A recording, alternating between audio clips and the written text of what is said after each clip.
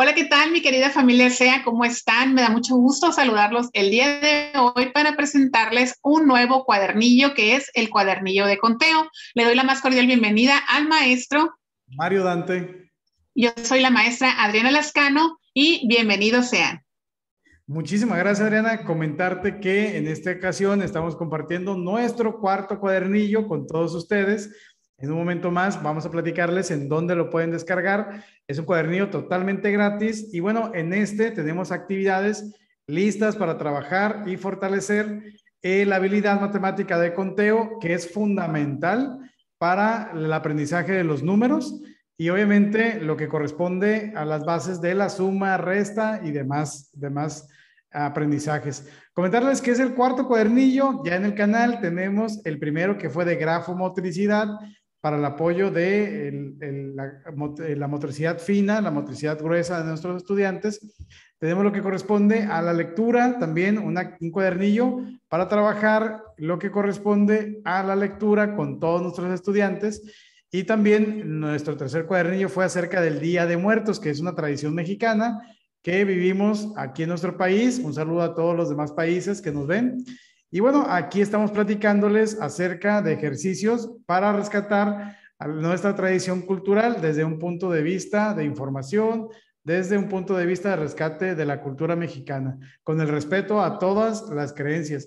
Y bueno, en esta ocasión tenemos el libro de conteo, ese cuadernillo de conteo, pues está para todos ustedes, lo van a encontrar un enlace en la descripción de este video para la descarga totalmente gratis. Los invitamos a compartirlo con todos los, sus compañeros, amigos, maestros, padres de familia. Y bueno, tenemos que este cuadernillo es gracias a nuestros patrocinadores y a los miembros del canal. A los miembros del canal, tú también puedes unirte a ser miembro del canal. A un lado de donde te suscribes aparece un botón que se llama unirme. Y bueno, el nivel 4, que es materiales de apoyo, pues ellos están haciendo un donativo al canal, que eso apoya a que nosotros podamos seguir haciendo videos y materiales totalmente gratis para ustedes. Comentarles que tenemos a Victoria, Ángel, Kike, Claudia, Aida, Israel y Mirla. Muchísimas gracias. Si tú también quieres ser parte y apoyar la educación de manera totalmente gratuita para todos los compañeros, pues te invitamos a unirte al canal. Y Adriana, pues tenemos este material de conteo. ¿Qué nos puedes platicar? Así es, pues aquí venimos, eh, estamos presentando la introducción, que es el conteo como base de las matemáticas, donde a grandes rasgos les explicamos que el conteo es una habilidad necesaria precisamente que se va desarrollando y que surge la necesidad de enumerar los elementos y darles precisamente un, nombre a cada uno de ellos, de los números que estoy yo aprendiendo o trabajando.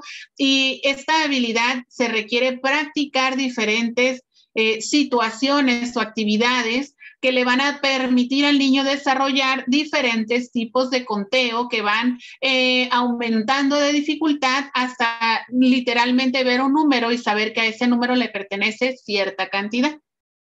Así es, Elena. Y fíjense que este material, además de que se encuentra en la descripción de este video, lo vamos a compartir en nuestra página de Facebook, así pueden buscarnos como el Centro de Aprendizaje Activo.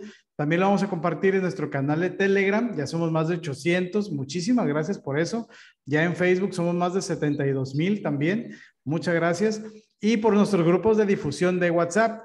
En la descripción de este video vas a encontrar todos los enlaces a todas nuestras redes y si lo usas, en, por ejemplo, mándanos una foto en Instagram, ahí por favor etiquétanos para poder saber de qué manera estás utilizándolo.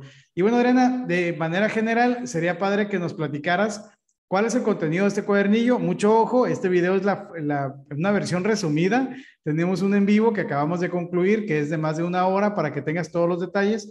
Pero de manera resumida, Adriana, ¿qué nos puedes platicar, por favor? Sí es, este, vamos a ver que este cuadernillo puede ser aplicado para niños de preescolar y primaria, en reforzamiento incluso primaria mayor, y lo que vamos a trabajar inicialmente es el conjunto. El conjunto, sin aprender a contar todavía, yo puedo representar muchos y puedo representar pocos. De esta manera lo voy a implementar con algo que les gusta mucho a los niños, que en este caso son bolas de nieve, que van a poner en el conjunto 1 pocos sabores y en el conjunto 2 muchos.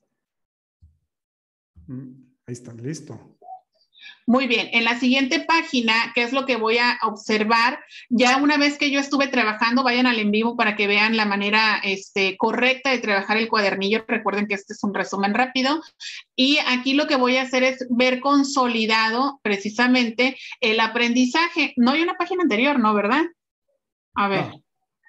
Ok, eh, voy a haber consolidado el aprendizaje ya una vez que trabajé con el niño, incluso con material concreto, este, conjuntos de muchos y pocos, ahora sí voy a reforzar. Van a poner un tache o una X a la cantidad donde hay este, más cantidad de elementos. Esto lo van a hacer de manera visual y es una manera de ver si realmente el aprendizaje anterior está consolidado. Si tú ves que no es así, pues hay que regresarnos y seguir trabajando con materiales concretos para poder lograrlo. Mucho ojo, siempre te invitamos a que cuando vayas a compartir un material de nosotros, adelante, qué bueno que lo haces, recomiendes el canal. De esta manera, la gente que esté implementando actividades de este cuadernillo va a tener toda la información de cómo implementarlo de la mejor manera.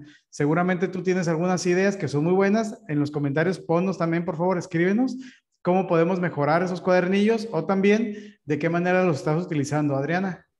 Así es, ya una vez que pude evaluar, ahora sí vamos a ver este, la flexibilidad de pensamiento que tenemos. Entonces, yo ya les estuve presentando ciertos elementos a los niños que tienen que ver con un mismo campo semántico para trabajar conjuntos de muchos y pocos, sin decirles como tal que son del mismo campo semántico. Esto se va acomodando poco a poco, ¿no? Es parte de desarrollar estas estrategias.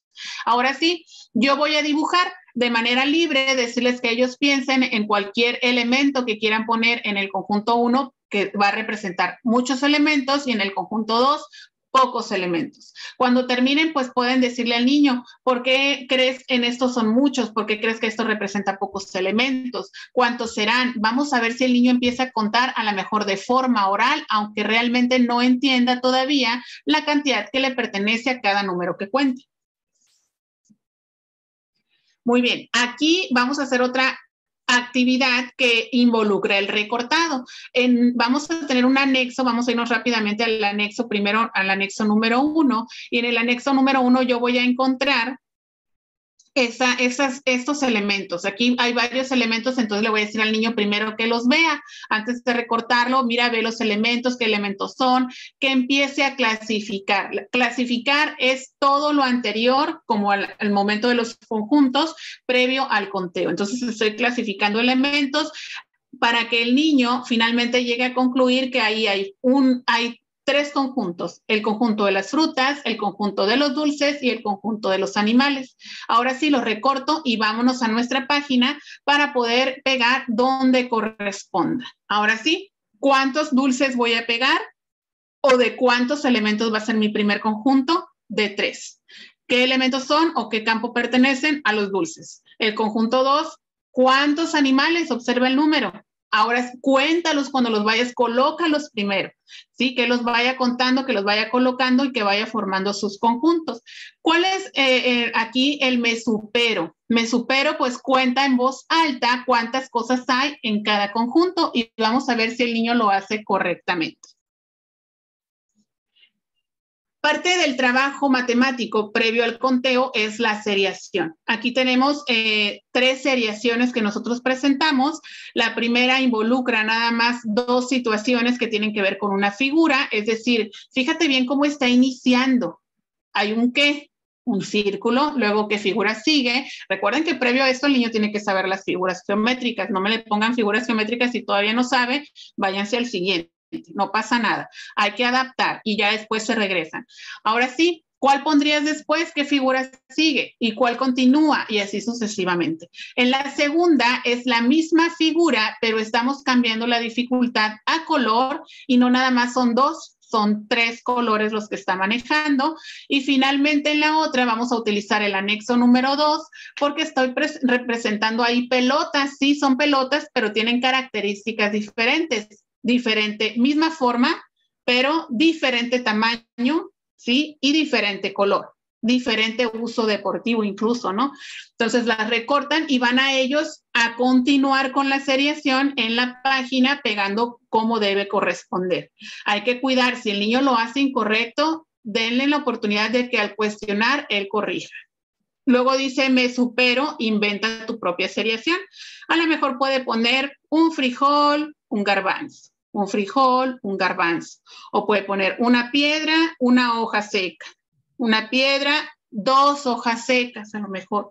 Entonces, dejen que él vaya proponiendo, que él solo la vaya haciendo y que al final la diga para ver si es correcta su apreciación. Muy bien, aquí empezamos a transitar de los conjuntos al número que quiero representar de ese conjunto. Tú explicas mucho mejor esta, ¿qué te parece si tú la dices? Yo encantado, Adriana, me siento halagado de lo que me platica. bueno, aquí, por ejemplo, en la parte izquierda aparecen los diferentes conjuntos, tenemos cuatro ejemplos. Y bueno, aquí, si se dan cuenta, estamos señalando que en la parte izquierda del conjunto le va a representar una cantidad total. Para ello estamos poniendo igual a una flecha.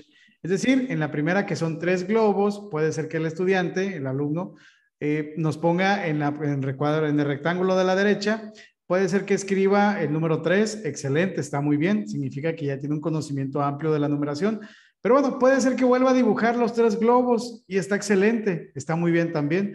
Puede ser que haga tres bolitas, tres palitos y también está excelente. O sea, le está haciendo una representación de lo que aquí nos está señalando la actividad. Eh, obviamente, aquí les dejamos una nota porque vamos a pedirles que en el video del en vivo, pues está mucho más extensa la explicación. Los invitamos a verlo para que tengan todos los detalles y para no hacer tan extenso este video, para que vayan a aquel. ¿Qué les parece? Y bueno, ya después de que estamos transitando de los objetos hacia los números formales, vamos a continuar con esa dinámica. En esta, por ejemplo, vamos a contar frijolitos y pueden ser otros eh, elementos, sí, pueden ser piedras, pueden ser lentejas, pueden ser botones, no hay ningún problema. Buscamos que ustedes tengan opciones en los cuales no se tenga que invertir mucho dinero en materiales, sino con cosas que ya tengamos en casa. De tal manera que cada uno de los rectángulos nos va a pedir cierto número. En la primera parte, por ejemplo, son 9, en la derecha son 12, en la parte inferior izquierda 15 y en la inferior derecha son 18, de tal manera que vamos a hacer ese conteo. Me supero, vamos a pegar los frijolitos en cada uno de ellos.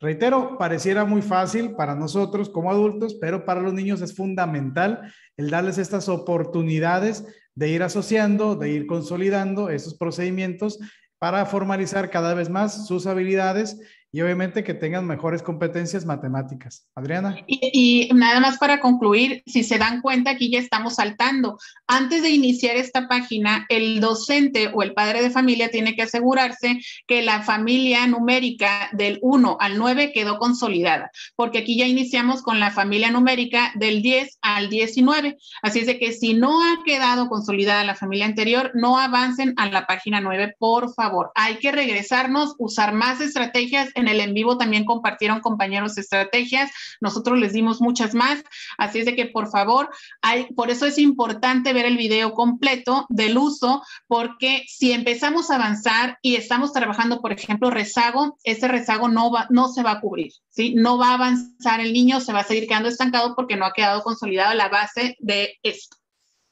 Claro que sí. Y bueno, vamos a transitar ahora a hacer agrupaciones. ¿Sale? En este caso tenemos eh, naranjas en esta lámina. Y bueno, aquí la indicación es cuenta y encierra las naranjas en bolsas de 10.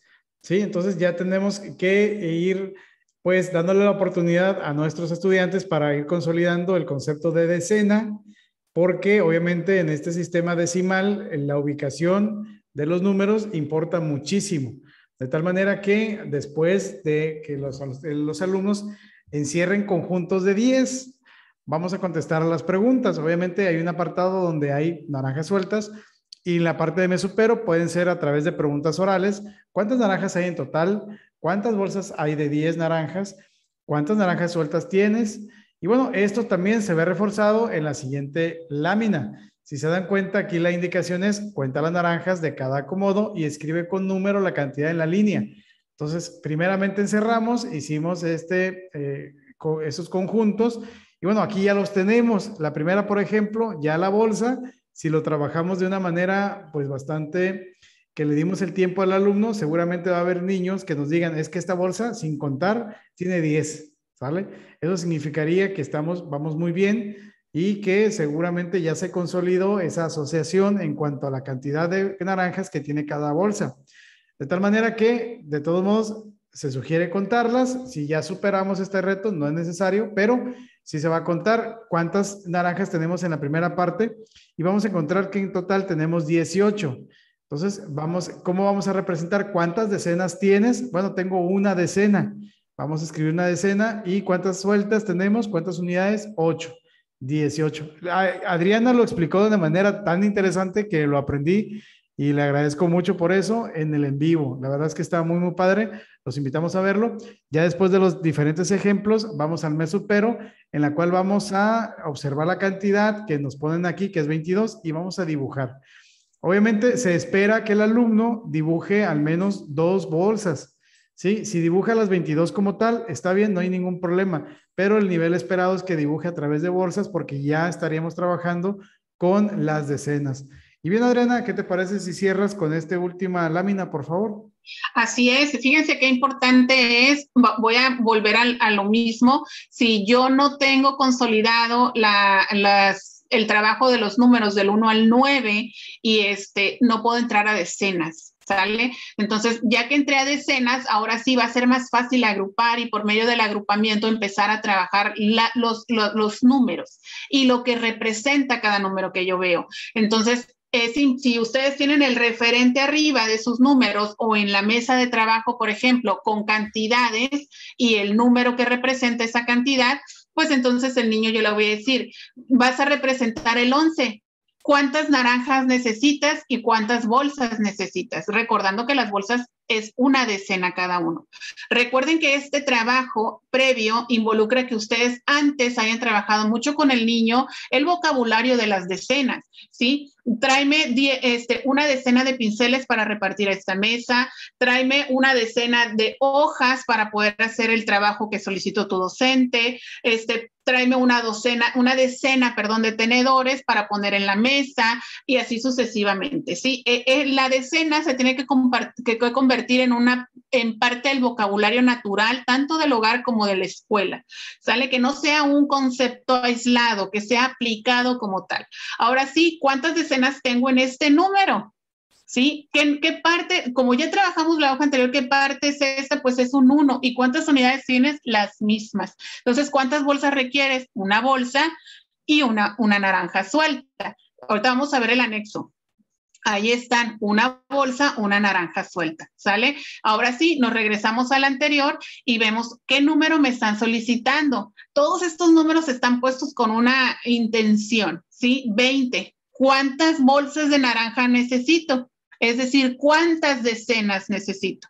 Dos bolsas, ¿sale? Si te dice tres, llévalo a pensar por qué tres. ¿Cuántas tienes en tres decenas?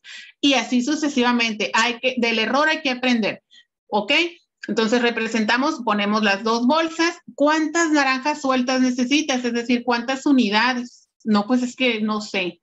Que, a ver, fíjate el número que está en las unidades. ¿Qué número es? Es un cero. ¿El cero qué es? Nada. Pues entonces no necesitas unidades. Hay que llevar a la reflexión. Y finalmente el 29. ¿Por qué el 29? Porque el 29 me acerca a la tercera familia que voy a trabajar, que es la familia del 30. Así es, familia SEA, pues muchísimas gracias por estar con nosotros. Recordemos que todo el material es totalmente gratuito, gracias al apoyo de todos ustedes. Siempre viene bien que se suscriban, nos ayuda mucho que dejen un like y que compartan los materiales que son totalmente gratis con todos los compañeros. Van a encontrarnos también en Facebook, en Instagram, en TikTok y en Telegram.